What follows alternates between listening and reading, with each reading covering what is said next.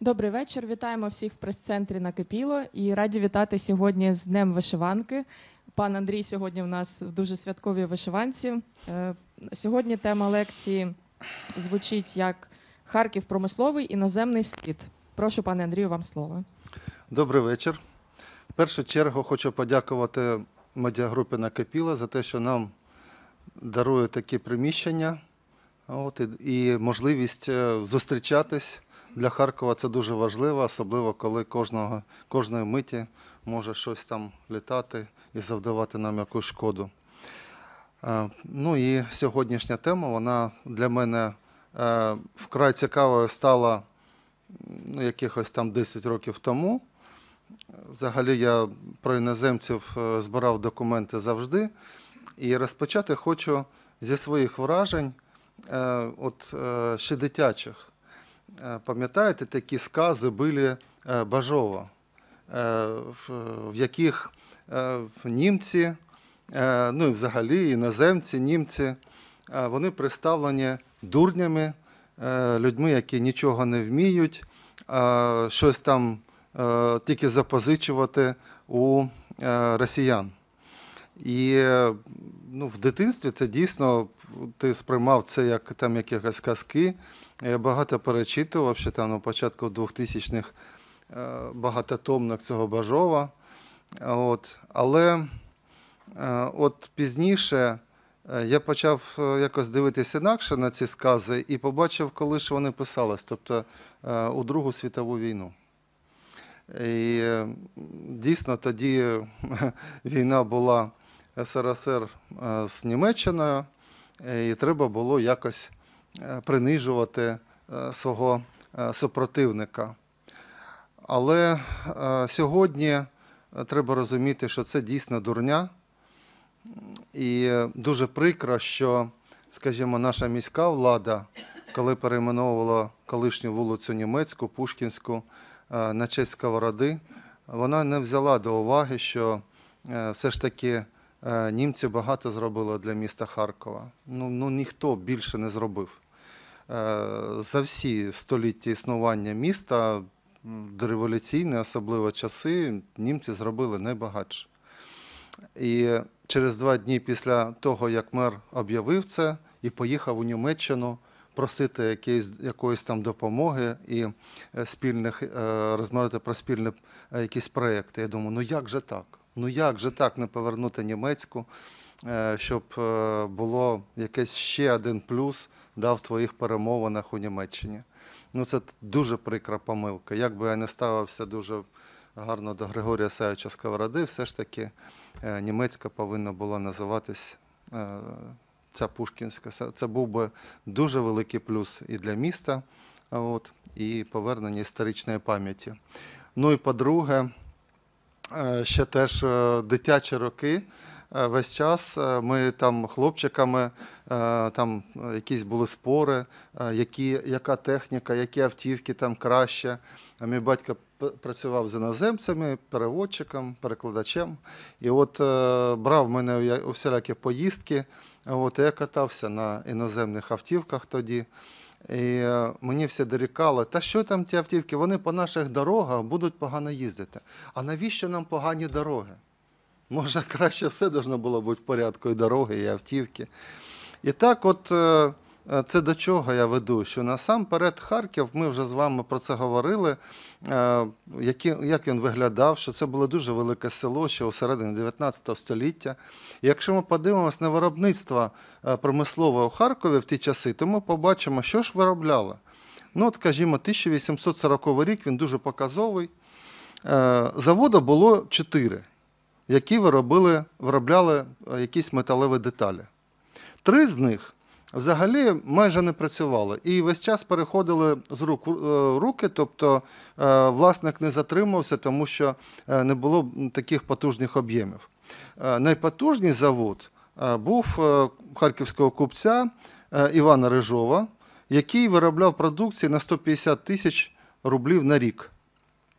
І у нього працювало е, всього 7 майстрів і 17 робітників. Пізніше цей завод теж працює і у 1850-ті, 60-ті роки, і 70-ті. але вже дійсно він е, затухає. Е, і е, виробляв він все. Він, вони могли зробити навіть парову машину. Але е, як там один е, поміщик е, купив у нього цей локомобіль, а потім, е, як він дуже швидко зламався, і, і претензій придавити не можна. Е, от, тому що ну, ти ж е, купив готову річ, вона працювала там. От, е, і весь час е, ті покупці дорікали Рижову, що техніка була не дуже. Ну і, до речі, дуже важко було доставляти у Харків метал, тобто чугу- чавун або е, от, залізо для того, щоб переплавляти на якісь там деталі. От. Е, І, звісно, це була проблема всіх тих заводів. Ну, а що ще було у Харкові на той рік, на 1840-й? Два півоварені заводи. Один е, завод, де е, производили селітру, одна шерстомойка і ватошний завод.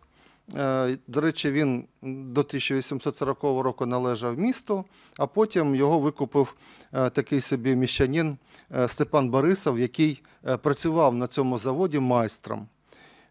І оці, якби, це промисловість. Тобто місто було таке собі. Ще у 1850-ті роки е, змінювались власники е, на заводах там е, цих, де додавали шерстомойки. От, але сказати, щоб це додавало потужності промисловості харківської, це не скажеш. І от у 1860 році у Харків переїжджає німець, який народився у Полтаві, Карл Трепке. Е, І е, він переїжджає спочатку сам, потім йому тут допомагав ще деякий час брат. От, вони вирішили заснувати е, такий собі тут завод, е, фабрику по виробництву сільськогосподарських знарядь.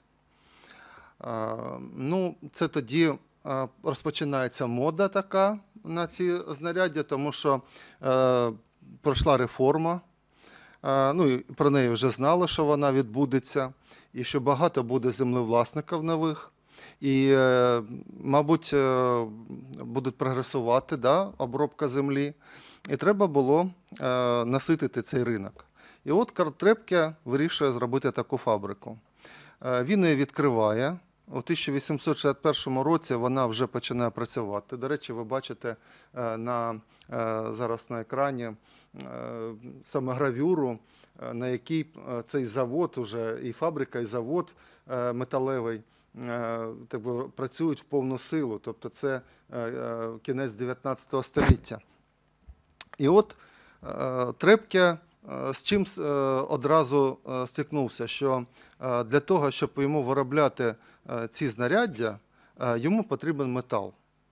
Метал, який продавався на одній з потужних е, е, харківських ярмарок е, в Успенській, да, ну, по всій імперії, е, його е, або якісного не вистачало, або він взагалі був неякісний. Тобто поставало питання доставки. Тоді у Харкові декілька купців займалися продажем заліза взагалі, не просто там на ярмарках, а й поза ярмарками. От, але вони теж привозили метал не завжди тієї якості, які було потрібно. Е, Взагалі, здебільшого, він був це було кровельне залізо. Е, І тому Трепке прийшлось вже на 1865 рік будувати власний металевий завод і м, домовлятись за е, поставки чавуна і заліза для того, щоб його переплавляти. Ем, е, Будівництво залізниці у 1869 році воно е, дає йому шанс е, завозити метал більшої, е, більшої кількості і більшої якості. До речі, він першим розпочав завозити метал з-за кордону в промислових масштабах. І це одразу призвело таку, такий вплив масштабний на ситуацію всій Харківській губернії, тому що люди побачили, що тут тобі е, можна е, дійсно замовити е, більш якісні, більш потужні машини, агрегати. От, і от роль Трепке, е, що він показав що місто Харків може бути привабливим з точки зору розвитку промислового підприємства.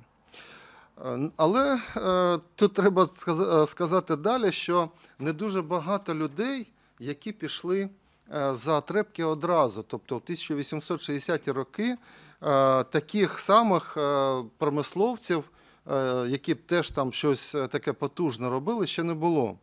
І якщо іноземці, дуже багато, до речі, іноземців, які опинились у Харкові всередині е, 18 19 століття, чому саме? Ем, Тому що е, в- на князівствах Німеччини не було можливості е, для людей розумних знайти місце свого життя. Тобто вони е, там е, було велике перенаселення, і е, їм не вистачало е, так би, можливості для е, відкриття і розвитку свого якогось підприємства, щоб їхня думка вона якось е, процвітала. Да? І Харків е, постає е, от для іноземців, особливо німців, якби другою батьківщиною, яку вони обирають для постійного проживання. Звісно, що вони хотіли жити спочатку е, в інших містах, ну скажімо, там Петербург, Москва. е, Де і Одеса була привабливіша, тому що там порт. От, і, звісно, що доставляти якісь машини, агрегати було е, простіше. От, е, і е, між іншим, е, виявляється, що е, там теж немає місця для них. І тому е, от німецькі родини починають шукати інше місце. І серед е, якби, інших міст е, Російської імперії Харків постає е, їм найбільш приємним, тому що він якби один із потужних торгових центрів. І, звісно, вже розвивається по інакшим сценаріям. Тим більше тут є університет, тобто можна налагодити навчання своїх дітей. От. Е, Ну і е, як я зустрічав деякі такі моменти, що е, вважалось, що харківські купецькі доньки стають якби привабливими для іноземців, тому що тут можна отримати за ними якісь землі, якісь там дворові місця у Харкові, якісь грошові винагороди. А от і це теж може дати поштовх для якогось там розвитку сімейної справи. Е, Ну, Карл Трепке, до речі, прибув е, зі своєю родиною сам. Тобто тут у нього вже е, його дружина була німкенія, багато було дуже дітей в родині. Якщо там цікаво, я про нього дуже багато розповідав. І остання розповідь е, на такому ресурсі. М, е, Владислава Яценка, вибачте, забув, як точно називається. Там була теж е, програма, де я використав е, вже е, фотографії родинного архіву Трепке. На мене вийшла жіночка, яка проживає в, Росії сучасній і десь там в Сибіру. А от і вона там хотіла зі мною якось налагодити відношення. Ну я кажу: ну які зараз відношення з росіянами війна? Ну я дякую, що ви там надаєте якісь там матеріали родини, я можу їх там використати, але е, нічого для вас я робити не буду, просто це неможливо сьогодні. І от е, ця родина, е, осівши в Харкові, побудувала, ну я вважаю, чудовий завод. До речі, дуже жалко, що він не використовується як такий музейний комплекс, але вже ми дуже багато з нього втратили. От ми зараз подивимось на малюнки. Е, Якщо подивитися е, е, одним із таких моментів, які, до речі, не один трепке і подальші іноземці використовували на своїх підприємствах, це сад, де могли відпочивати робітники. Але пізніше, звичайно, вже е, діти, скажімо, Карла Трепка, які народились у Харкові, е, цей сад е, знищують, і там з'являються е, додаткові приміщення. Е, Ну, такий фірмовий бланк е, Карла Трепке. От. Е, Дуже мені імпонує його ставлення до реклами. От, і дуже багато. Це один із таких е, е, промисловців, який багато використовував рекламні е, проспекти. От. Ну і ми бачимо от зйомки з воздуху. Е, 2020 року ще є така багата забудова на цьому підприємстві, але, на жаль, воно потроху розбирається сучасними власниками. Е, До речі, от дуже цікавий момент. е, тут е, знято глинище, зелена глина, яку тут обирали ще з середини 19 століття. Знаєте, коли, куди ця зелена глина йшла? На мойки шерсті. Тобто шерсть тоді відмивали цією зеленою глиною. А е, Харків вже був е, е, най, найвеличнішим містом, де відмивали більше 50% е, шерсті всієї імперії. І от е, цей момент, е, що тут глиніще це збереглося, до цього часу там щось вибирають. Ну а от, е, до речі, та е, заправка, де колись була білгородська криниця. От не просто ще така е, фотографія, ще з історією з якоюсь. Ну, теж е, з іншого ракурсу завод Трепке. Це, до речі, будинок, один з будинків, е, який було побудовано Карлом Трепке на вулиці Журавлівській. Зараз це вулиця носить ім'я Тараса Шевченка. Е, Він не зберігся до наших днів, як не зберігся інший дерев'яний будинок. І напроти заводу теж у нього був будинок.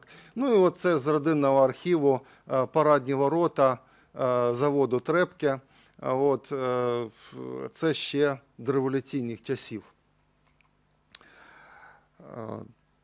Да. Е, Ну і от, е, е, власне кажучи, сама родина Трепке. От, така чорно- чорно-біла ксерокопія, але є ще одна фотографія, де родина вся зібралась біля свого маєтку на річці Харків. Там близько 30 людей, там і дітей, і старих, і всіляких. Тобто дуже така інформативна фотографія. Е, І після Трепки е, виявляється, що е, у Харкові не дуже так якби пішли іноземці за великими якимись підприємствами, але були і англійці, і французи, і італійці, які пробували щось відкривати.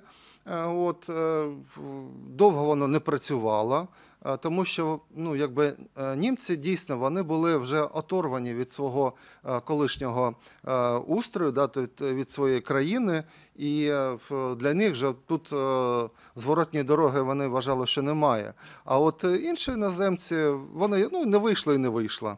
От е, один із таких прикладів був е, Василь Карлович Стефані, е, який відкрив е, е, кахляну майстерню е, десь е, приблизно е, в районі Рашкіної дачі, е, ну, е, біля того ж заводу Івана Рижова.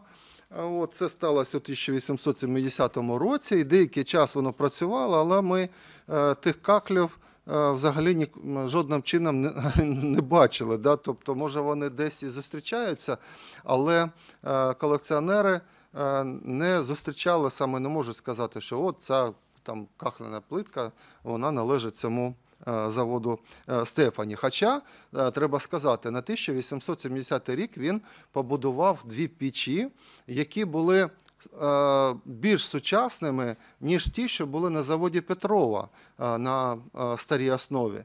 І е, дійсно, якщо б він вирішив би працювати більш дало, е, то е, він би міг би е, скласти йому потужну конкуренцію. Але можливо, це е, було йому. Е, Так, скажімо, не сподобалось, да, що е, ну, як і кахлі, так і черепицю продавати у Харкові було доволі важко. Тим більше, що 1870 рік ще немає того архітектурного буму да, на будівництво кам'яних будівель. От, і тому він якби трішки зарано почав е, свій бізнес. Надалі можна сказати, що дуже цікавий, е, цікавою людиною для Харкова е, став е, такий підприємець зі Швеції, який був німцем за походженням Андрій Андрійович Пільстрем. І от Пільстрем він теж розпочав свою діяльність дуже так цікавезно, тому що він вступив в, якби, в таке споріднення да, з е, Микитою Павловим, е, представником Харківського купецтва. І е, на мильному його заводі вони вирішили відкрити новий чавунно-ліварний завод. Ну, от, це дуже цікавий такий план цієї місцевості. Спочатку та ось ця садиба на куті Гончарівської вулиці е, була е, Карпо, е, Павлових е, і досталась е, Микиті Акимовичу від е, нащадок від матері. Е, І е, тут бачимо потужний парк е, з садом.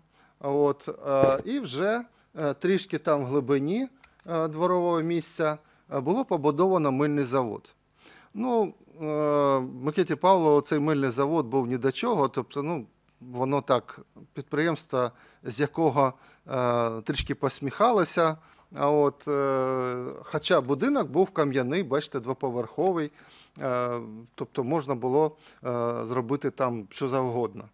І от Андрій Андрійович Пільстрем, е, мабуть, вирішуючи, що йому ще не варто показувати своє купецтво у Харкові, можливо, він очікував якийсь капітал, можливо, ще якісь у нього були там е, проблеми, але е, він не показаний і власником цього заводу. Але в подальшому ми бачимо, що е, він веде е, історію свого заводу саме е, з 1870 року, е, і саме з дворового місця е, Микити Павлова. А у 1875 році він викупає е, такі обширні землі е, вздовж річки е, Харків, і там, вибачте, Лопань, і починає там будівництво е, е, уже власного заводу. Ну, от у мене є теж проект е, трішки пізнішого часу. До речі, дуже цікава постать тим, що він проєктував все завжди сам. Е, Тобто е, ніяких е, архітекторів, інженерів він не наймав, а робив все власноруч. І от це доволі потужний завод і потужна територія, яка належала. Тобто розвиток цього підприємства був більш таким потужним за, рахунок того, що вже працювала залізниця. У нього були великі об'єми такої закупівлі чавуну, заліза. Е, Привозив це він теж з-за кордону, виключно із-за якості, тому що його завод виробляв е, більш такі серйозні машини-агрегати, ніж там той же завод там Трепки. Да? І треба сказати, що й до самого 1917 року, де й після того, е, такі самі е, машини-агрегати не виробляв жоден завод у Харкові, е, як робив це Пільстром. Ну і він е, міг там долучатись до розвитку інших там підприємств. От, скажімо, у нього був ще толєвий завод. Це такий матеріал покровний, який, якого весь час не вистачало у Харкові. І от він долучився до цього. І толєвий завод теж довго працював. Він там був трішки далі, чим е, чавуноливарний.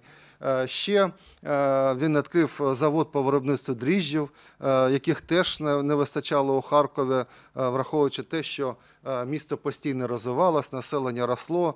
е, Ну і е, треба було забезпечувати е, печеними там різними виробами, і дріжджі вони користувалися е, великим попитом. Так що ця людина доволі великий вклад е, внесла в розвиток е, лютеранської громади. Якщо Карл Трепке підтримував здебільшого Вознесенську жіночу гімназію, е, оскільки там навчались його дівчата, от, ну, такі доволі серйозні суми вкладав, е, що давало можливість розвивати е, взагалі е, цю Вознесенську гімназію. Його ж, до речі, була ідея побудувати е, на лютеранському кладовищі каплицю, яка, до речі, і цього, цього часу стоїть, і теж би місту сьогодні було б варто передати все ж таки лютеранській сучасній громаді е, цю каплицю як храм. От, е, бо це е, було б дуже таким теж важливим кроком показати відкритість до е, Німеччини сучасної. От. Ну і Пільстром е, він теж був е, доволі таким серйозним благодійником, меценатом е, і е, був учасником німецького благотворительного общества е, у Харкові. І величезні суми витрачав на це. Е, Ну, от можна подивитись, що е, залишається сьогодні е, з цього заводу. Ну, Більш е, цих корпусів воно, вони перебудовані, звісно, на сучасний лад підприємства. Е, Ну, до повномасштабного вторгнення Плінфо воно працювало. Як воно працює зараз, я сказати дійсно не можу. Тут, скажімо, е, на е, там стороні біля там колишнього тольового заводу зберігся будинок для робітників. Ну, в якому стані ви самі бачите, що не, дуже. Ну і серед іншого, Пірстром ще був таким чудаком. Він підтримував проекти Константина Яковича Данилевського, який розробляв літаючі снаряди. І от е, цей літаючий снаряд, до речі, е, називався Пільстром, тому що е, він побудований був за гроші Андрія Андрійовича. На жаль, ця людина помирає. Е, Дуже, е, я вважаю, дуже рано, у 1900, по-моєму, п- а, ну, наприкінці 19 століття, скажімо так. І е, потім родичі входять там в состав його товариства, керують, а потім цей завод викупається Шиманським. Ну і по цій назві він відомий у подальшій історії Харкова. От я вважаю, що це такий дуже серйозний такий чолов'яга, от, е, який зробив для Харкова неймовірні речі. От, е, відомий був е, майже всьому Донбасу. Ну, краще нього деякі взагалі речі не виробляв ніхто. Ну, список можна подивитись, реклама теж багато його от, зустріти в, в інтернеті. Ну і у мене теж і на російській мові є розповіді, на українській. Е, Так що е, це такий е, дуже потужна людина. Там десь біля 1871 року ще з'являється один іноземець Генріх Карлович Шмітман, е, який зробив теж важливий крок для Харкова, ем, оскільки він почав першим виробляти скляну посуду. Е, Тобто до цього її завозили, купували там з інших міст. е, От, е, ну да, дійсно важкувато. Це ж треба мати там пісок для виробництва цього скла, а якісь там або якісь там полуфабрикати завозити. Але вже ж працювала залізниця. І от Шмідману довгий час не давали дозвіл на відкриття підприємств, от, які були вже за територією міста Харкова. От вони примикали і примикали до е, лютеранського е, кладовища. І, от е, Шмітман е, весь час е, доказував міській управі, що вони взагалі ні до чого. Е, Тобто вони не можуть йому е, не давати дозвіл, тому що землі, на яких він відкриває своє підприємство, воно взагалі е, ніяк не е, знаходиться на міській землі. Е, І це в у- у веденні е, Харківського губернського правління. Ну і, до речі, він отримав ці землі, е, дозвіл.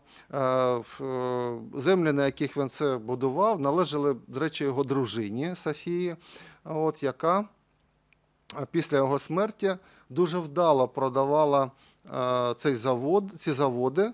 От е, спочатку е, такому Аркадію Йону, от, а потім в Толкачову. Толкачов е, відомий як е, найпотужніший виробник е, цегли у Харкові.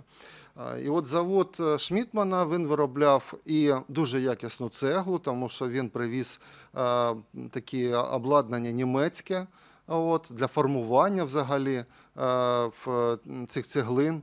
От, тобто ця праця була не вручну, вперше для Харкова на той час. Е, По-друге, він виробляв кахлі. Е, Ну, кахлі можна зустріти, е, мов тільки відбити, да? тобто там на тих будинках, до яких він має відношення, тому що вони в той же час будувались. А От. Е, І е, є ще е, ну, цей завод е, скляних виробів, який був теж першим у Харкові. Е, Ну, а далі я хотів би перейти до е, такого Адольфа Даре.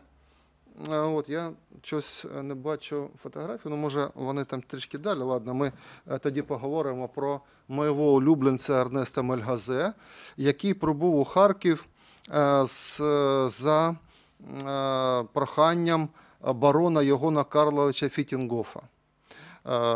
Він вже тоді, тоді був земським діячем з самого початку, 1860-ті роки. У нього був теж чавунно-ливарний завод, тільки у Сумському повіті. І він запросив Мільгазе як молодого такого конструктора, ізобретателя, тобто людина, яка ну, така була, мала величезні перспективи. Він відпрацював на його заводі, а потім е, значить, Мільгазе переїжджає до Харкова, де на землі дворовому місті е, своїх там побратимів е, на Дворянській вулиці 3 він будує е, там в невеличкому там, флигелі першу майстерню свою, де починає виробляти за власною конструкцією плуг металевий на два лемехи. Це дуже такий е, потужний крок на той час, тому що здебільшого ці металеві плужки були або на один лемех, або е, взагалі були там використовували здебільшого деревини. Тут був повністю металева конструкція. І е, їх здебільшого завозили з-за кордону. І ці плужки вони були не дуже е, доброї якості, от, тому що там землі у них такі, не такі жирнючі, як у нас чорнозем. Дійсно вони не розраховували, не були розраховані на те, що будуть використовані на е, чорноземних е, ґрунтах. І от е, е, розпочинає е, робити свою конструкцію. Е, Його е, приятель, е, цей барон Фітінгов, е, робить все, щоб е, е, цей плуг е, користувався е, попитом. Е, І е, Мельгазе таку допустив невеличку помилку, що він не одразу запатентував цей плуг, а його конкуренти тут же підхопили, в тому числі іноземці, е, всі ці конструктивні особливості цього плугу. І е, тут е, е, Мільгазе залишається ні з чим. Тобто він виробляти виробляє, але е, ну, конкуренти, маючи більш там грошей, от, е, вони е, отримали змогу е, робити більш масштабно да, виробляти цей плуг. Е, Ще треба сказати, що от на фото якраз Ернест Мельгазе, що е, він е, йшов е, не такими шляхами, як інші промисловці у е, Харкові, де взагалі у Харківській губернії. Е, У нього було дві е, особливості. Е, По-перше, е, що він е, багато навчав е, своїх е, робітників е, новим технологіям. Е, І при його е, фабриці, яка вже там у 1880-ті роки е, дуже потужно розвивається, е, була така своя школа реміснича, е, де він навчав майбутніх робітників. Е, Робітники були всім забезпечені. На той час взагалі важко назвати е, ще якесь підприємство е, такого роду, щоб там так відносились до робочих. І показово, що 1905 рік жоден робочий з заводу Мельгазе не вийшов на якусь там забастовку чи страйк от, у, у Харкові. Е, ну, там ще інших, е, іншу особистість ми теж назовемо, яке так е, само відносилось, але він не був німцем. Ну і по-друге, що Мельгазе робив більш якісніше, ніж інші, що він якби ставав вчителем не тільки для своїх робітників, а й для селян. Тому що можна було виробляти у 1870-80-ті роки безліч якихось агрегатів, але якщо е, селяни не мають змоги, не, не бачать, е, як це можна робити, як їх можна використовувати, що вони дають е, для їхнього розвитку, то це дуже буде важко. А от Мельгазе якраз йшов іншим шляхом. Ну і от ми можемо побачити там деякі, це, до речі, Дворянська 3 е, будинок, який фасадом виходить на цю вулицю. Зараз це Юлія Чигирина. А там усередині залишилися е, такі там флігелі, е, якісь там прибудови, е, де в, одному з них був завод Мільгазе. Це вже не завод, а, вибачте, майстерня ще. А, от така собі е, е, в- е, теж гравюра на якій начебто зображено завод Мельгазе вже на конній вулиці. Сьогодні це Богдана Хмельницького. Е, От, е, але, на жаль, е, таких розмірів ми не побачимо. Ну, це фірмовий бланк. От. І от я хотів показати: це кінна молотилка. Тобто ми бачимо, що тут нічого такого дуже серйозного немає для того, щоб селянин не розібрався. І от, вважаючи на такі приклади, що він йшов е, шляхом, е, достукався до е, звичайних селян своїми простими прикладами, е, вона таки ставить його е, на більш високий рівень, ніж інших виробників сільськогосподарської е, агрегатів і машин. Е, Ну, от, скажімо, єдиний, до речі, у Харкові, хто виробляв е, е, такі е, потужні е, вже молотилки від е, е, локомобіля, це був, до речі, Мюльгазе. Це його власна конструкція. І е, коли він е, їздив на е, якихось е, там е, е, ярмарки по імперії за кордон, то е, на цю молотилку приходило дивитись багато людей і знаходило, що вона нескладна в роботі, що ну, важливо для е, е, е, селянина. Або для робітників. Там, от е, сівалка Мельгазе е, теж доволі проста і зручна. От. Е, Ну і бачимо, якщо ми там дивились гравюру, ну можливо там розгорнули просто в різні боки. Але от цей прямокутник і є завод Мельгазе. До речі, він розпочинав з того, що купив маленьку там фабрику екіпажей. От, і з з цієї фабрики екіпажей е, от, е, вирісла така е, потужна як би, як конструкція. Е, Тут е, варто відмітити, що була е, вже у 1880-ті роки е, столова для е, робітників, е, і е, ще була окрема е, столова для дітей, тобто він не перекрещував їх е, разом да, різне покоління, е, тобто зберігаючи той потенціал. І, до речі, е, дуже багато промисловців у Харкові е, про це доволі значна кількість свідчень є, е, що вони старались перекупати робітників з Мельгазе, тому що вони були більш професійними, ніж будь-у кого. Е, Ну, от теж е, з іншого ракурсу е, е, завод. Е, Да, і от ми перескочив я, е, коли формував. Це от якраз е, такий буклет фірми Даре. Даре приїхав у Харків ще у 1850 році, але він працював на, на інших людей, тобто власного виробництва ще не мав. І пройде 25 років, ніж ця людина відкриє спочатку свою майстерню, е, яка е, буде е, робити там політурки, да? а вже у е, 1885 році він відкриє власну е, типографію. І, до речі, ця типографія буде одною з найкращих е, в Харківській губернії за своїми потужностями. Він багато книжок виробляв. Ну, каталог, е, який мені е, попався до рук, що я його роздивлявся, це більше 300 сторінок е, книжок, які видані були е, в, е, от у е, типографії е, Даре. Е, Ну і ще, мабуть, декілька тут буде ілюстрацій. От, е, тут він показує, е, які афіші е, він виробляв, або які каталоги він виробляв. До речі, здебільшого до, для своїх побратимів теж за походженням німців. Це будинок, який зберігається досі на вулиці Кооперативній, колишній Рибній. Там в глибині цього двору була перша типографія і, майстерня Адольфа Даре у Харкові. А от е, той будинок, який е, він купує пізніше, е, це фірмовий теж бланк. Е, От цей будинок е, на вулиці Московській.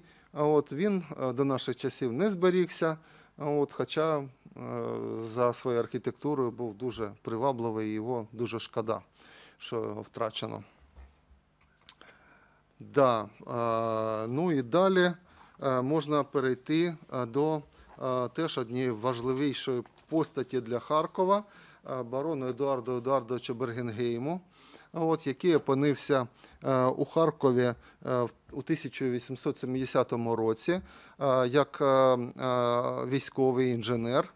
Е, Його було направлено для керування е, там дистанції е, на е, Курсько-Харківсько Азовській залізниці.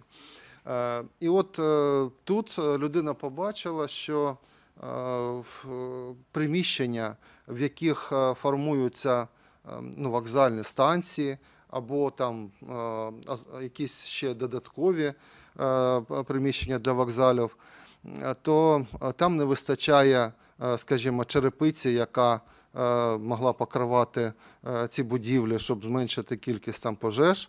Е, Ну і е, по-друге, е, що це ж місця, де багато проходить людей, і потрібно було якісь кахлі використовувати для полу, щоб можна було вони щоб менше зношувались, да, ніж дерев'яні там поли чи інше.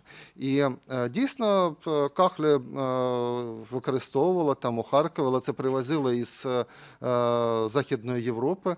Це вони були там дорогезні. От. І е, заслуга Бергенгейма в тому, що він ем, побачив, курсуючи по різних там станціях залізниці, е, от перебуваючи на Донбасі, зокрема в Часовому Яру, за який зараз ведуться потужні бої. І от е, там він побачив е, глини, які можуть використовуватись для виробництва е, теракотових цих плиток. І не тільки плиток, але й там вогнеопорних е, е, цегель, е, потім гончарних там труб. Ну, тобто все, що завгодно можна було виробляти.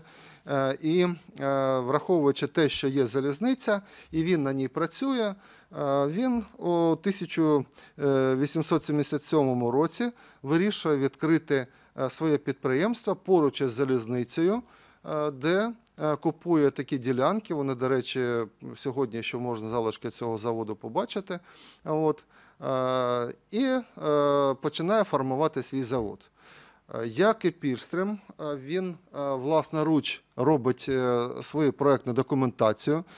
Е, Потім починає завозити після затвердження проекту е, іноземну всю е, обладнання, е, от, яке е, устанавлюється в е, там і е, де було та і печі на основі там іноземних всіх схем, от і для перемішування там, ну тобто всі безліч машин, які були на цьому заводі, вони всі завезені з-за кордону. Тобто витрачена було потужна кількість грошей на це, але е, вже у 1878 році розпочинається виробництво. І е, якщо е, в Харкові не одразу побачили е, такий дуже серйозний крок, да, який зробив ця, ця людина для нашого міста, от, але в інших містах це одразу взяли на замітку. Спочатку він, до речі, виробляв кахлі. І тільки там пізніше розпочав розвивати асортимент, але і тих же кахлів е, для, е, для Харкова, для харківських губерній вистачало. І от е, що цікаво, що вже наприкінці 19 століття, коли вже і Бергенгейма не було в живих, попит на його продукцію був з усіх міст імперії. І от сьогодні ми можемо ввійти там в інтернет, ввести там Бергенгейм е, е, і побачити, скільки буде е, там е, посилань е, на різні кутки, саме віддалені. От, тому що ніхто тоді не виробляв таку якісну цеглу. То він був е, ну, і цеглу, і е, кахлі. Да, і от, е, по суті, е, ця людина декілька років взагалі не мало ніяких конкурентів. Вони з'являються там пізніше, коли вже почали теж звертати увагу на те, що е, от е, такий яскравий приклад. Е, так що ця людина зробила Харків відомим завдяки своїй продукції. От. Ще дуже цікавий момент, що він. м, е, Сам е, займався е, от, е, і проєктуванням, і, і всіма технологічними процесами, тобто не довіряючи е, на своєму початку шляху нікому, де і потім теж е, не дуже долучав, тільки управлінцям. І от е, кожний його крок він був е, настільки прорахований, і от, на жаль, е, людина просто сама себе е, вбила цією надвеликою е, працездатністю. І в, е, коли він помер, це вже було товариство, і дякуючи цьому, виробництво продовжилось. Да, і продовжилось якби такий е, яскравий е, крок да, цього підприємства, е, звідки покупали цеглу там будь-на що, і, і тротуарну плитку, і ці ж гончарні там труби для печей, і труби для каналізації. Тобто там асортимент був теж доволі значний. От, е, от можна подивитись е, на сам е, завод. Це, до речі, малюнок присутнього тут в залі Артема Погрібнова на нашій книзі Цегелі «Цегельні Харківської губернії. Сьогодні цей завод ще залишається, да, його розбирають потрошку, і якихось там декілька років, і е, вже е, залишиться тільки одна яма, оскільки е, ну, цеглу можна і сьогодні використовувати для будь-якого будівництва. Або от теж малюнок Артема Погрібнова, це завода управління, от, і де безліч там було ще інших моментів, використовувалася будівля на Кузінській вулиці. От. Е, Така е, фірмова плитка, яка постачалась е, з великою партією. От, і вона, скажімо, була там одна на, на, декілька тисяч. І власники, домовласники будівель, якщо викладали його цю плитку, вони е, старалися поставити на самому видному там місці, місці на початку, на вході. Оце От це буде, що це е, плитка Бергенгейма. Це дуже потужне було таке якісне виробництво. Ну, ці е, неопорні там е, цегла, от яка його виробництва. Е, От, до речі, цікаво, е, цих е, плиток для полу у нього було безліч там різних варіацій. Каталог включає близько е, 60-70 найменувань. І у нас так дуже багато дослідників сучасних вважають, що це українські мотиви використані, але він народився в Фінляндії, і е, саме е, в Фінляндії е, брав якісь нотатки для своїх от, кахлів. От е, самий потужний варіант, до речі, кахля, найбагатший. Це останній, мабуть, таблиця 64. І бачите всі найменування, тобто могла людина дуже швидко собі замовити якісь там деталі от, і е, зробити будь-що е, в своєму, своїй будівлі чи на е, учбовому закладі. Е, Це тротуарна плитка, яка у Харкові використовувалась не дуже багато, але декілька вулиць все ж таки е, були замощені такою плиткою. Е, Тут треба в першу чергу назвати вулицю Благовіщенську. Да, завод Бергенгейма він теж працював на таких незрозумілих для багатьох заводчиків умовах, коли люди отримували і зарплатню, отримували і якісь е, е, там бонуси, і продуктовий завод, і навчання. Е, Тобто так дуже вкладався сильно, і е, теж був розбитий е, великий сад е, для відпочинку е, дітей, там, родин. От, е, тобто він приділяв цьому е, доволі багато умов. Ну, ми, пам'ятаєте, розповідали, коли про е, появу електричного е, освіщення, то саме от е, Бергенгейм е, одним із перших заводчиків не тільки встановлював електричне обладнання в своєму заводі, але й проводив експерименти, які саме лампи будуть краще для зору його робітників. Ще один заводчик, який залишив по собі не дуже такий серйозний слід, але він з'явився у 1878 році е, на основі заводу Василя Пономарьова. Е, Це такий е, інженер Альберт Федорович Бельке.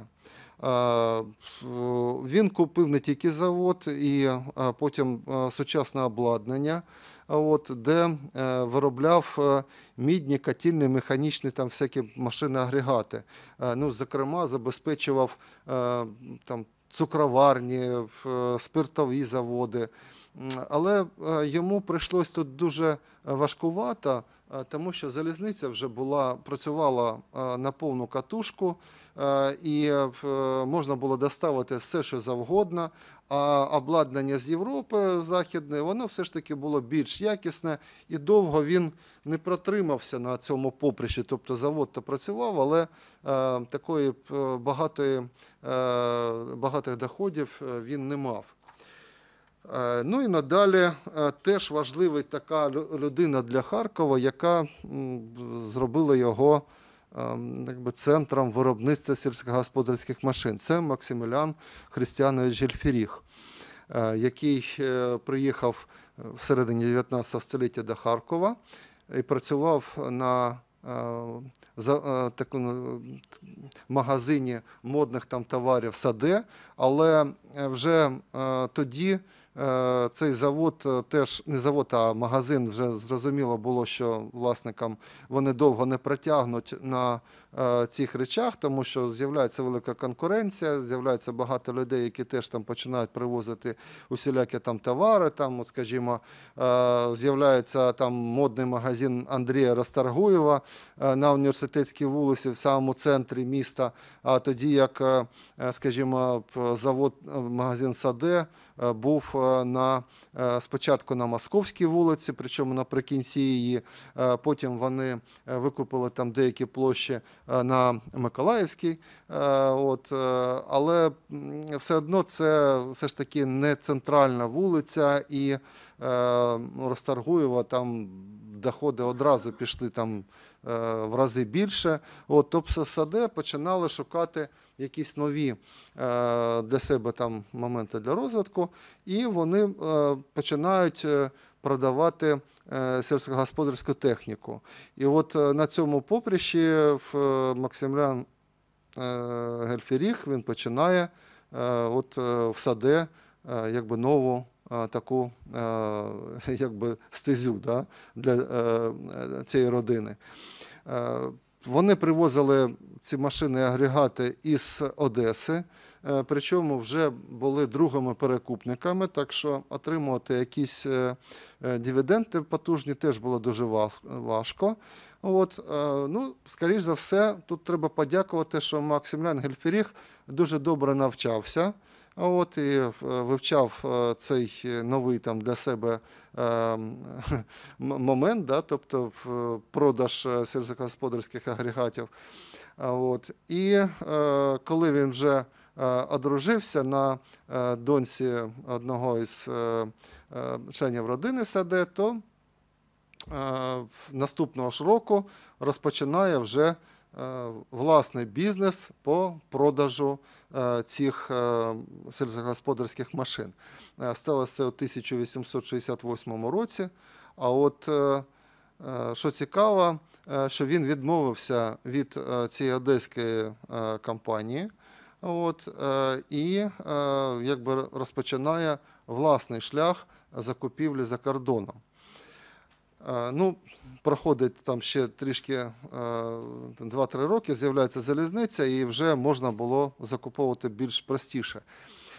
Але ще один момент дуже важливий, що неодноразово вказується, що всі ці машини-агрегати, які привозились з-за кордону, вони страждали всілякими болячками, тобто були не дуже якісні, особливо враховуючи знову ж таки наші е, чорноземні ґрунти. І от е, е, коли зрозуміло стає Гельферіху, що треба якось переінакшити оцей продаж, да, то він вже подумав о тому спочатку, щоб зробити власну майстерню, на якій би можна було ремонтувати іноземну техніку. От, і е, якби такий шлях на те, що е, щось на, на кшталт, е, якби, е, що людина може е, отримати якусь там чи комісію там, і відремонтувати цю техніку е, за кошти нібито самого даже Гельферіха. Ну і от, тобто гарантійні там обов'язки. Е, Але цей шлях е, був, е, ну, можливо, не дуже вірним. Одразу він розпочав думати про те, що треба робити вже власний завод і не заморачуватись на тому, щоб ремонтувати техніку інших якби, виробників, тому що деякі там деталі ну, треба було отримати патенти від закордонних виробників, а це коштувало великих грошей. І от е, у 1870 році е, на землях, е, які дістались йому від родини Саде на вулиці Конній, він будує першу, перше приміщення для майбутнього свого заводу. В 1882 році, до речі, він продає залишки товарів галантерейних, і більше до цього вони вже не повертаються. От, до речі, справа ми бачимо е, будинок, який належав е, колись е, родині Саде, от, де було деякий час е, якби, офіси і магазин. От, е, і тут же е, продавалась е, сільськогосподарська техніка, ну, звісно, по каталогах. Е, Це сучасний проспект Героїв Харкова, тоді Московська вулиця, от там попереду десь Успенський собор і дзвіниця. Е, Масштаби е, доволі серйозні е, при будівництві. Це от е, е, перші роки е, забудови території, ну там і забудова, тут е, самі дворові місця, які належали сади, були доволі потужними. От, е, проекти розробляв е, архітектор Гінш. Е, Він е, був якби довгий час е, єдиним архітектором, який працював на е, родину Гельферіхів, от, і проєктував багато чого. От. Е, Пізніше е, стало зрозуміло, що тіснувати. Да? Ну, це, до речі, реклама е, про розпродаж е, остаточний е, всіх товарів, е, які е, раніше були е, найбільш привабливими там у Харкові. От. І е, після того, е, як людина, яка управляла взагалі бізнесом родини Саде, чому ще додавалось до його прізвища е, е, додатково, е, тобто він став Гельферік Саде, і перші роки, е, поки жили всі представники е, цієї родини у Харкові, е, то ми бачимо, що він підписується на всіх своїх проханнях, е, саме як Мікселян, Гельферік Саде, даючи цю приставку. Ну а потім вона пропадає, тому що е, е, обов'язательства перед цією родиною вже у нього не було. Е, Безліч е, реклам е, дуже потужних. До речі, в харківській пресі він не дуже вдало якось так йшов на, на тому, щоб там щось друкувати. Але реклами, які були там на каталогах, на якихось там плакатах, їх там безліч, вони прикрашали. Стіни там людей, які цю техніку купували. Я от залишки одній з реклам побачив на е, стіні е, в будинку е, сільського, е, от, е, в глухому селі взагалі. Е, І е, питаю там, та колись там ще дід приліпив, де він її взяв, хто зна. От, а потім ми знайшли у цій родині ще і залишки, і, і техніки. Тобто, виявляється, він купував.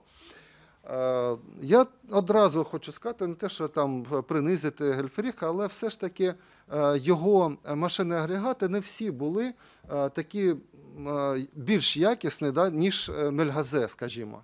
Е, Тобто він брав е, кількістю, е, що на той час було дуже важливо, оскільки вся Харківська губернія, де і не тільки Харківська губернія, його товари продавались е, по таким територіям сусідніх губерній, оскільки там було представництво по містах губернських по всій імперії, тобто не вистачало сільськогосподарської техніки. І звісно, що його завод розвивався на тому, щоб робити якомога більше. Е, І він не задумувався над тим, е, щоб е, там виробники сільськогосподарської продукції не можуть там щось пізнати і таке інше. От вже коли на початку аграрної реформи Сталипіна, коли вже Гельферіха не було в живих, було перенасищення ринку е, сільськогосподарських машин, е, тоді е, розвиток пішов трішки іншому, по іншому шляху. Е, Земство почало формувати такі прокатні пункти, де було безліч цих різних машин і агрегатів.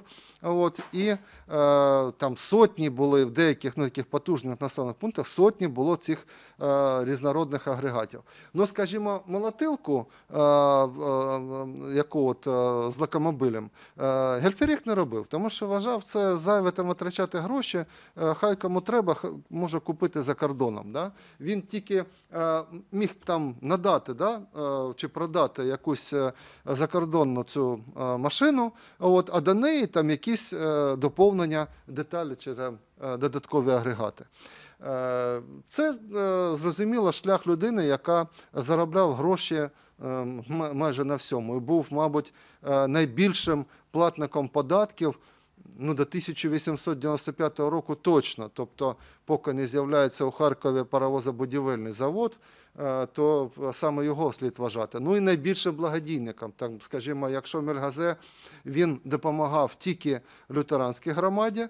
Е, І більш ні на що там інакше не звертав уваги, то Гельферіх все ж таки е, фінансував безліч різних проєктів, може там е, не повністю, але це дійсно був важлива людина для благодійництва у Харкові.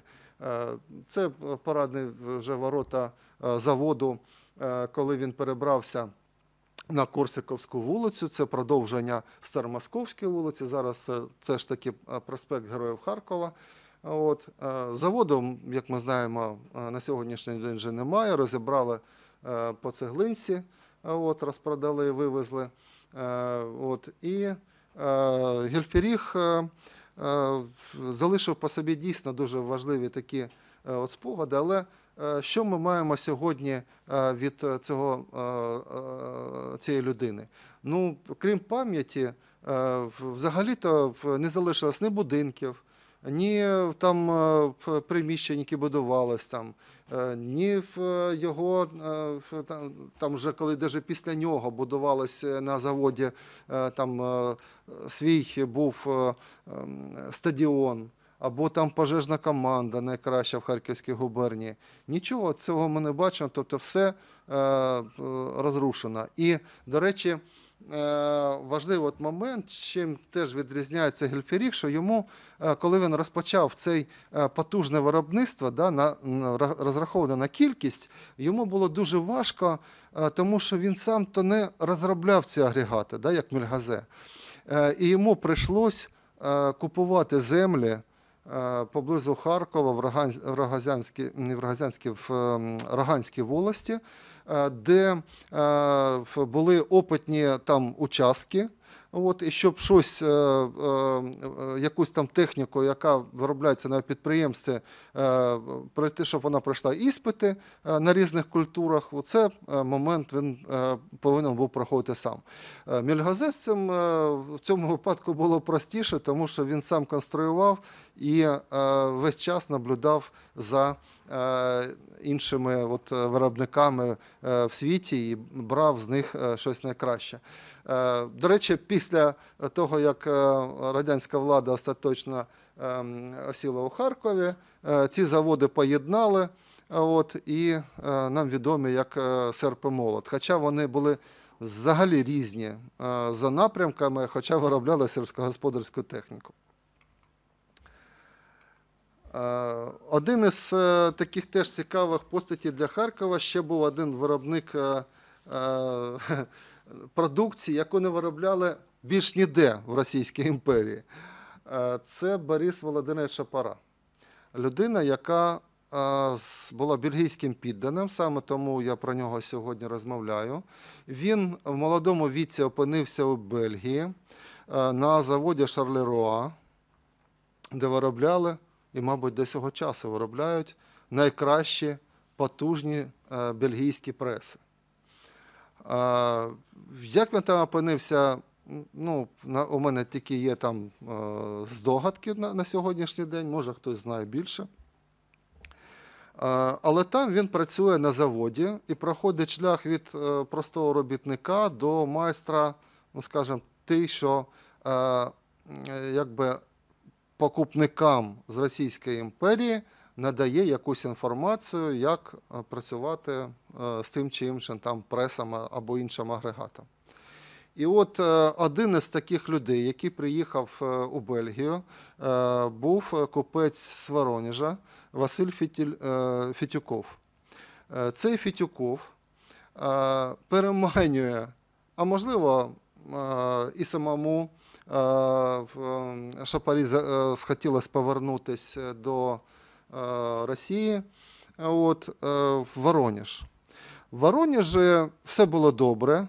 Вони були е, найкращим, це не те, що так, єдиним підприємством, де от виробляли там е, те, що називаємо там чи дирка по-харківськи, чи бублик по-харківськи. Тобто це такі е, вироби, е, де штамповані там деталі, або треба було робити там якихось там сітки. До речі, ці преси, які там е, привезли вони з Бельгії, вони виробляли е, м, е, цвяхи. Да? Тобто е, це вже ну, там, тисячу подів на, е, на добу е, цвяхів. Ну, це для інших виробників це такі собі, блін, е, висоти недосягнені. І от е, Борис Шапара, е, він е, стає спочатку компаньйоном Фітюкова у Воронежі, а потім е, вони відкривають ще невеличку майстерню е, у е, Ростові-на-Дону, е, але саме невеличку. І от е, в е, Воронежі наступає такий момент, що е, вони розуміють, е, їм треба кудись діватись, е, бо їхній завод е, стояв у Харкові. У Харкові, в центрі міста Воронежа. І е, весь час е, губернська влада натякала їм, що треба там звідти виходити.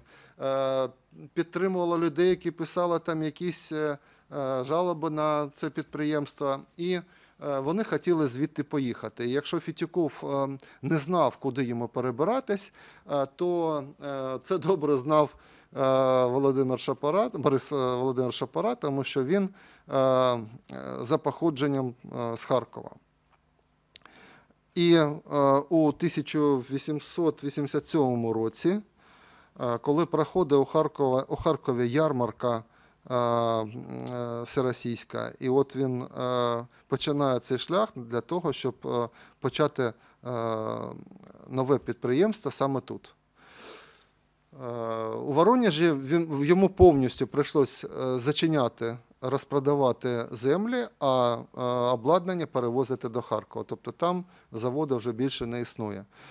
І оскільки цей е, шлях доволі е, важкуватий був у е, нього, то він ще й відмовився від майстерні у Ростові-на-Дому, тобто е, зробив ставку на Харків.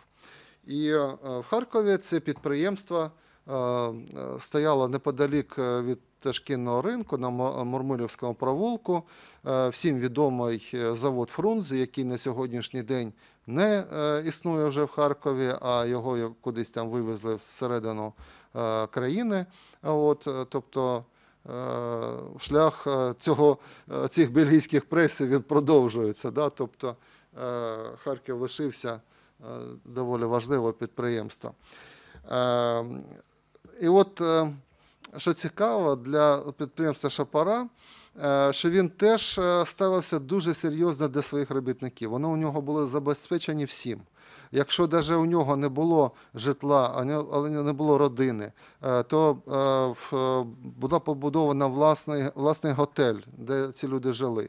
Забезпечені були майже всім. І оцей цікавий спогад, що у 1905 році, коли були заварушки у Харкові, і е, коли там Гельферік Саде, завод е, е, потерпав від цих стачок, да, от, і, а завод Шапара працював. І він склав договір з казаками Оренбурзького казачого війська на те, щоб вони охороняли його робітників, тому що приходили робітники з Гельферік Саде і хотіли бити робітників заводу Шапара, що вони не приймають участі у страйках. Тобто ця людина е, до е, робітників відносилась по-європейськи. От, і, тобто, на той момент для багатьох це було незрозуміло. Там тільки е, іноземці да, мали такий же самий шлях, і, і то, як виявляється, не всі. Шапара, е, на жаль, е, його виробництво е, розвивалося дуже потужно до е, 1914 року, але з початком Першої світової війни він сам вирішив перепрофілювати своє підприємство. І він один виробляв того ж колючого дроту більше, ніж будь-який завод інший в Російській імперії. Е, Дуже цікавий момент, що саме на його заводі виробляли е, е, бомби для бомбометів, тобто ну, мін- мінометів. Але його ж конструктори розробили власний бомбомет. Е, І е, два селянини, так можна їх і назвати, Іван Лілюк і Василь Береговий, міщани міста Харкова, вибачте, які е, самі ж проводили іспити цього бомбомета тут, у Харкові, на предмісті Урал. От, і потім ці бомбомети почали вироблятись на цьому заводі, постачались у армію. І ці два міщаніна, от, вони навчали вже військових, як їми користуватись. Е, От за свої е, досягнення в постачанні в армію е, различного обладнання е, Борис Шапара було нагороджено орденом е, Святої Ганни третього ступеню. Е, Інших промисловців я, мабуть, і не знаю таких, що е, йшли таким же самим шляхом, як і він. Ну а потім, е, звісно, завод націоналізували. З'являється от, завод Фрунзе. До речі, у е, е, 1943 році, коли знову Харків було остаточно звільнено від нацистів, то саме на заводі Фрунзе вироблялись міномети. Тобто це теж продовження традиції таке було. Ну, тобто цікавий дуже завод. Я е, написав про нього книжку, не знаю, чи колись вона вийде, чи не вийде. От, вона повністю готова. Ну, для мене Шапара дуже цікава особистість. Ну і завершити можна було б е, е, таким, такою людиною, як е, е, Григорій Борман от, який з'явився у Харкові у 1895 році. Е, Це іншого роду промисловець.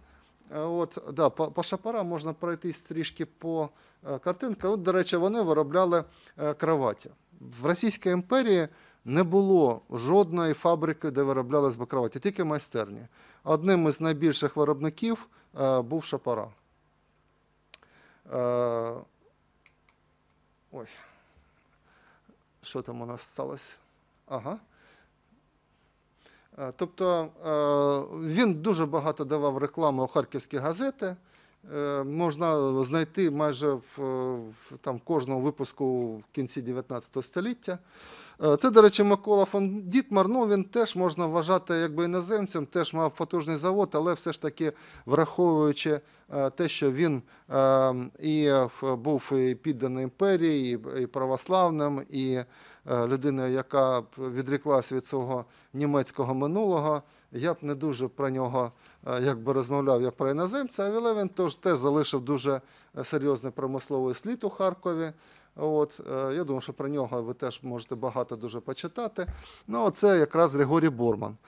Е, Ну, Григорій Борман е, для мене це е, показчик е, жлобства великого промисловця у Харкові.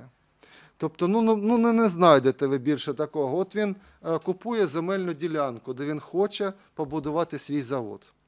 І спочатку купує тільки частину цього дворового місця. Е, Ну, може, не вірила людина, що тут е, щось з цього вийде. Потім починає докуповувати да, там, городне місце тих же власників, там, перемовини там веде. Е, А потім, коли вже завод е, е, побудовано і він добре розвивається, да, продукція користується попитом, але він не може розширятись, тому що не купив одразу сусіднє дворове місце, за копійки йому пред- предлагали, а він не купив. І, а потім вже власники, ага, це що таке потужне підприємство, і як давай йому накручувати гроші. Він е, каже, та ні, за стільки не куплю за стільки, а вони ще більше, ще більше. І по саме дорогезній ціні. Ніхто більше за такі гроші дворові місця у Харкові не купував, як цей дурень Григорій Борман, який за жлобства за свого цього не зробив з самого початку. Е, Щодо меценатства благодійності, дуже обмежена кількість його е, пропозицій, що він робив. Е, Наступив на п'ятки всім виробникам е, у Харкові. Які теж мали свої там кондитерські фабрики. Е, майже всі ну, потерпали від того, з'явилася така потужна конкуренція. І всі вимушені були там йти його шляхом. Там деякі взагалі не виробляли шоколад, але прийшлося виробляти, щоб якось утримуватись на плаву. Але ж він е, побачив, що люди виробляють інші там якісь моменти, які не виробляє його фабрики там у Петербурзі. Тоді він починає виробляти те саме і тут. Ну навіщо тобі ти були там пряники ці, блін, чи бісквітне це заведення? Ну, ну тобто, ну він це все е, е, хапав. Е, і дійсно підприємство було доволі потужним, серйозним, ніхто тут нічого не скаже. Е, Цукерки, можливо, саме найсмачніші, а от і шоколад може найкращий. Е, Але все ж таки в Харкові він е, зробив не, не дуже е, такий е, яскравий приклад, як підприємця. Ну і е, я вже розповідав, що е, його там сточні води з його підприємства вони витікали там е, в лопань, і він вважав, що краще переплачувати штрафи, е, от, але нічого не робити. Е, Тобто такий був е, людина з таким от шляхом. Хоча е, сам е, ну, якби, німець за походженням, е, шляхетного походження, до речі, Е, родина мала власний герб, просто що вона опинилась там е, у першій третині 19 століття у Петербурзі, от, займалась фармакологією. От, але от, людина така була своєрідна. Ну і от ми е, можемо подивитись на це дворове місце. От бачите, це те дворове місце, яке купив він спочатку. Потім продовжив до Чоботарської, от, отак от е, йшло там, е, викупили. А оце дворове місце вони викупили пізніше. От, за страшенні гроші. Тобто там в газеті е, написали, що блін, Борман е, з розуму зійшов, що сплатив такі гроші за. Ну йому було нікуди діватись. Підприємство треба розвиватись або переносити взагалі. А в нього вже такі були побудови, стояли, що переносити це було дуже важко. Ну і цікаво, е, що ми маємо на сьогоднішній день. От, до речі, це проект забудови по Дмитрівській вулиці в 1914 році. Е, Коли я вперше опублікував, до речі, цей проект, то е, одразу безліч наших експертів, екскурсоводів сказали, це Ржепишевський. Подивіться, як там зроблені вікна, там і стилистика, і те, і все. От. Ну, я тоді не став е, нікого там переконувати ні в чому, але це інженер Черкас, от, який розробляв у Харкові е, ще е, систему каналізації. От, і якщо ці люди прийдуть в архіви, подивляться, тобто е, це до чого нагадує, що у нас деякі будівлі, які кажуть, що це проєктував саме Ржепешевський, тому що от такі схожі вікна. От. Ну, це не факт. Треба мати все ж таки папірці, от такі проєктні документації. Як це виглядає сьогодні? От е, теж мені не зрозуміло, е, чи можна, може це поважати власники нашої там, найкращої бісквітної фабрики, е, во що вона, от, ну, як вона виглядає. Ну, тобто втрачено всі привабливі риси заводських корпусів, які були до революції. Або от ми можемо подивитися на магазин Джорджа Бормана, який був на Миколаївській площі. Е, От сучасні, сучасні конституції, ось він тут зліва внизу. От, е, і як оздоблений був магазин, е, саме перший, який було відкрито на е, вулиці Кооперативній Рибній.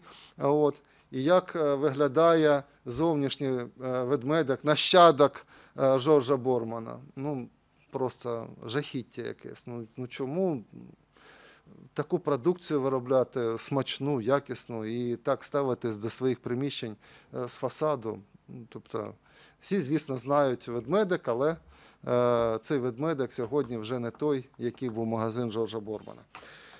Ну от е, про що я хотів сьогодні розповісти. Єдине закінчити тим, що е, е, я вам назвав самих потужних іноземців, які мали у нас заводи, які були відомі і е, всій імперії, і, світові.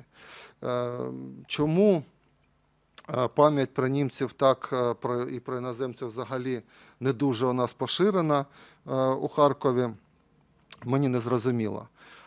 Я вважаю, що хоча б задля того, щоб ці колишні іноземці, які зробили для Харкова такий повштовх, таку промислову революцію, що Харків е, одразу піднявся е, на вищу планку е, міст Російської імперії з таким потужним виробництвом. Ну на півдні так взагалі імперії не було нічого подібного, ніякого міста, яке б могло конкурувати. І от ми сьогодні ставимось до них не дуже. Хоча попереду у Харкова ще треба відновлення робити після того, як е, е, переможемо е, росіян, е, то, звісно, саме допомога іноземців була б для нас дуже корисною. І е, шлях, е, і в тому числі історичний, в тому, щоб повернути е, ці імена е, на історичну мапу Харкова. Дякуємо, пане Андрію. Дякую за увагу.